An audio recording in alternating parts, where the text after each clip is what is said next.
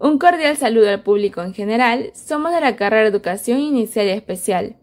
Hoy hablaremos sobre los beneficios de los programas de huertos escolares en la educación, oportunidades y desafíos hacia la sostenibilidad. Los integrantes de este grupo son Shirley Erika Ramírez Nostroza, Adriana Delgado Frisancho, María de Jesús Arias Quispe, Jocelyn Maricelo Silva Quispe y Dayanara Jotaru Medina Arbildo. Como primer punto de este tema, hablaremos sobre los beneficios de los programas de huertos escolares. Los programas de huertos escolares tienen numerosos beneficios para los estudiantes, no solo en términos de salud física y emocional, sino también en sus resultados académicos Diversos estudios demuestran que los programas de huertos escolares han mejorado las habilidades de rendimiento de los estudiantes en asignaturas como ciencias ambientales, historia y nutrición. En particular, estos programas les enseñan a los niños de dónde provienen los alimentos, cómo se cultivan y se cosechan y la importancia de la agricultura. Adicionalmente, al dar a los estudiantes acceso directo a frutas y verduras frescas cultivadas en huertos escolares, se ha observado un aumento en el consumo de estas opciones saludables. Esto es muy relevante debido a las alarmantes tasas de obesidad infantil que existe hoy en día. Múltiples investigaciones coinciden que en los programas de huertos escolares son una herramienta efectiva para contrarrestar este problema de salud tan grave. Por otra parte, los huertos escolares también brindan beneficios a toda la comunidad donde se ubica la escuela. Se ha encontrado que estos programas promueven una economía local más sólida al facilitar el acceso de vecinos a alimentos orgánicos y de calidad. Del mismo modo, estudios demuestran que los huertos escolares pueden generar ingresos económicos a través de la venta de sus cultivos. Punto número 2. Retos y desafíos de los programas. Financiamiento. Aunque existen subvenciones y oportunidades de financiamiento, muchos huertos escolares sufren de falta de recursos económicos, lo que dificulta su establecimiento y mantenimiento a largo plazo. Sostenibilidad. La falta de recursos, apoyo y participación comunitaria puede dificultar su continuidad, es fundamental establecer estrategias y planes de acción para garantizar que los huertos escolares perduren y sigan brindando beneficios a los estudiantes. Desigualdad socioeconómica. Los estudiantes de grupos socioeconómicos más bajos tienen menos oportunidades de participar en programas de jardinería escolar debido a la falta de recursos y apoyo comunitario. Integración en el currículo. Aunque los beneficios de los programas de jardinería escolar son reconocidos, aún no hay una inclusión formal de estas prácticas en el currículo escolar en el estado de California, según el estudio mencionado. La falta de integración en el currículo limita su alcance y su impacto educativo general.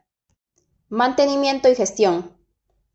Mantener y gestionar un huerto escolar requiere tiempo, esfuerzo y conocimientos especializados. La falta de personal capacitado y dedicado puede dificultar el mantenimiento adecuado del huerto, lo que puede afectar negativamente la experiencia de los estudiantes y la viabilidad a largo plazo del programa.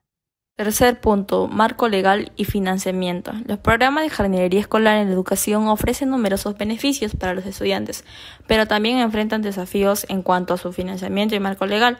En algunos lugares existen leyes y regulaciones específicas que respaldan estos programas, como la Ley de Jardinería Instructiva de las Escuelas de California.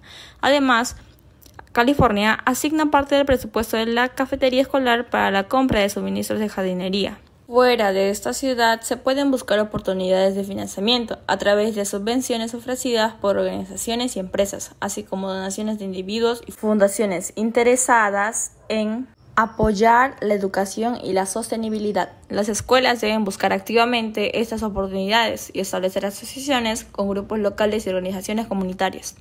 Los programas de jardinería escolar pueden ser elegibles para recibir fondos adicionales a través de los presupuestos escolares irregulares. Sin embargo, la sostenibilidad financiera puede ser un desafío y es importante desarrollar estrategias a, largo plazo para asegurar la continuidad de los programas.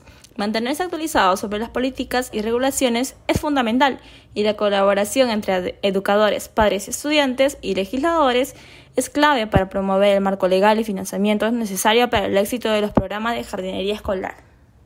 4. Metodologías y antecedentes del estudio. Como primer punto tenemos que en este caso se utilizó una metodología cualitativa, que se basa en la recopilación y análisis de datos no numéricos para investigar un tema relacionado con los programas de huertos escolares. Como segundo punto tenemos que los programas de huertos escolares en los Estados Unidos han evolucionado a lo largo del tiempo, desde su papel inicial durante los tiempos de guerra hasta su enfoque actual en la educación ambiental, la alimentación saludable y la conexión con la comunidad. Estos programas continúan ganando popularidad y se consideran una valiosa herramienta educativa y también de desarrollo para los estudiantes. Tercer punto. El programa People Garden School es una iniciativa del Departamento de Agricultura de los Estados Unidos que fomenta el establecimiento de huertos escolares y jardines comunitarios en las escuelas. Esto tiene como objetivo principal promover la educación en la agricultura, la alimentación saludable y también la sostenibilidad a través, a través de la creación y mantenimiento de huertos escolares y jardines comunitarios. Esto proporciona recursos, orientación y apoyo técnico a las escuelas y comunidades interesadas en establecer huertos escolares. Como cuarto punto, se está haciendo referencia a la existencia de interrogantes que se plantean en el ámbito de la investigación sobre los programas de huertos escolares en los distritos escolares específicos. Estas preguntas pueden abarcar una variedad de aspectos relacionados con estos programas y su implementación a nivel local. Como en el tema de beneficios, se pueden hacer las interrogantes de cuáles son los beneficios educativos, nutricionales o socioemocionales en los estudiantes. En el tema de desafíos, la interrogante puede ser cuáles son los desafíos y barreras que enfrentan los distritos escolares al implementar y mantener programas de huertos escolares. En el tema de oportunidades, la interrogante puede ser qué oportunidad se presenta para los distritos escolares locales al establecer programas de huertos escolares como colaboraciones con organizaciones comunitarias, integración con el plan de estudios existente o también la participación de padres y familias. Ahora hablaremos sobre diseños de programa. Como se sabe, el estudio destaca que aunque los beneficios de los programas de jardinería escolar son numerosos, todavía no hay una inclusión formal de estas prácticas en el plan de estudios del Estado de California. Actualmente, estos programas se generan a través del esfuerzo comunitario, sin embargo, cuando son efectivos mejoran el plan de estudios en su totalidad. El proyecto utiliza investigación cualitativa y entrevistas con maestros y estudiantes para analizar los aspectos e-, exitosos de los programas de jardinería escolar. Se incluye que la jardinería escolar es beneficiosa para los estudiantes cuando se financia y apoya adecuadamente. El estudio también destaca que los programas de jardinería escolar y la educación al aire libre tienden a estar limitados a comunidades ricas en recursos o con un fuerte apoyo comunitario. Esto crea una disparidad ya que los estudiantes de grupos socioeconómicos más bajos tienen menos oportunidades de beneficiarse de estos programas. En cuanto a los desafíos, se mencionan que muchos programas de jardinería escolar fracasan debido a la falta de financiamiento continuo. A pesar de ello, se ofrecen becas, subvenciones y ayudas estatales y federales para apoyar estos programas. En California, por ejemplo, se asignan fondos anuales en el presupuesto escolar para la compra de suministros de jardinería.